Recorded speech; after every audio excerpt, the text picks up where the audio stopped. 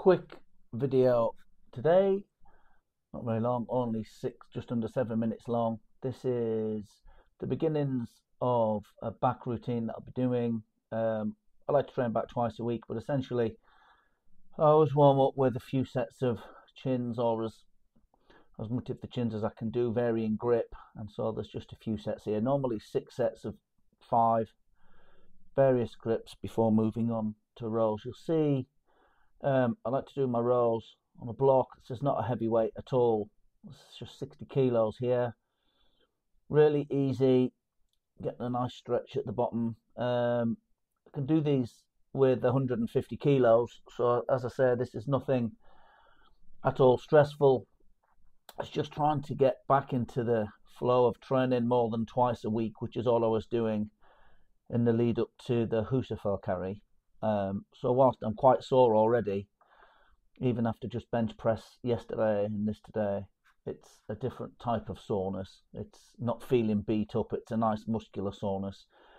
Anyway, a couple of sets of the, uh, I think four sets of this or so, changing grips um, from just slightly wider to shoulder from to shoulder width to quite a bit wider, which hits a little bit more upper back.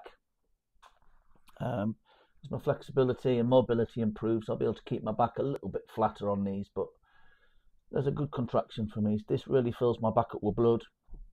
Please check out those delicious triceps at the bottom of the movement there. Uh,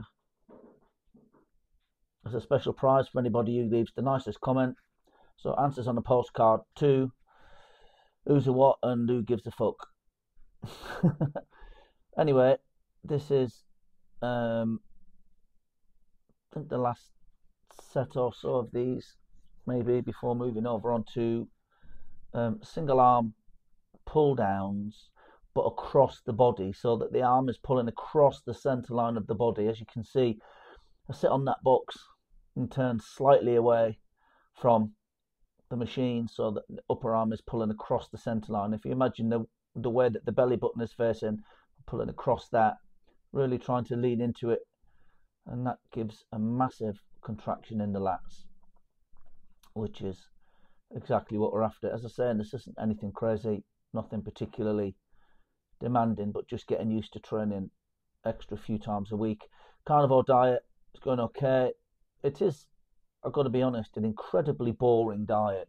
It it really is. It's just meat and it's just fish, and uh, I do add a little bit of um, dairy in there, but um, I love food, as I'm sure an awful lot of lifters do, and just to be restricted like that, it really is boring. So the idea is to get as much flavour in the food as possible, but you know, I'm one of those that I don't like to be restricted when doing that sort of thing. So I have to tell myself if I want anything else, then I'm happy to have it.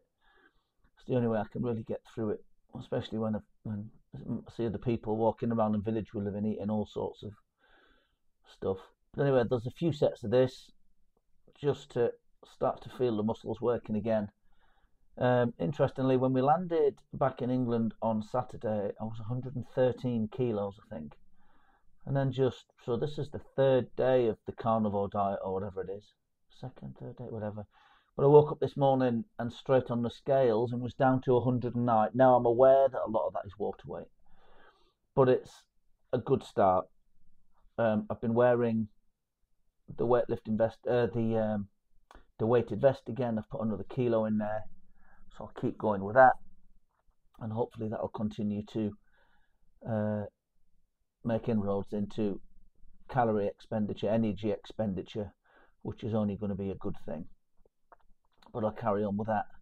Water is good, hydration is good, sleep was a little bit better last night, as I'm hoping it's going to get as I start to lose a bit of weight and then we can move forward from there. But anyway, this is uh, going to be uh, me sounding off now. I'll just leave this video playing in the background, and then um, you can just uh, carry on watching the rest of that if you like. But if not, there'll be another video up tomorrow. I'm thinking the one tomorrow is going to be more of a mobility uh, a mobility one, actually um, prehab. Um, I'm not a big fan of rehab because I'm such a big fan of prehab. And I think before you start to feel aches and pains, you should be doing something to help yourself. But everybody that does weightlifting at some point is going to get a little niggle or a little injury. Mine tend to be my shoulders, and um, that can be for many reasons tight pecs, tight lats. Um, it can be issues that you're feeling. It can be because your elbow, um, your wrists are a little bit tight and your body's having to make adjustments. So I'll be doing a few things on that and chucking that up, and hopefully a few of you will find that helpful. But anyway, thanks for watching. And if there's any particular type of topic you'd like me to talk about over the top of these videos, um, as I say, I've been weightlifting for 30 years now, or so over 35 years. So I've got quite a lot of information that I can dish out to people.